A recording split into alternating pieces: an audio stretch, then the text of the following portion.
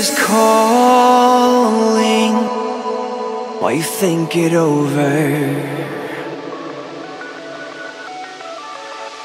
The future is calling.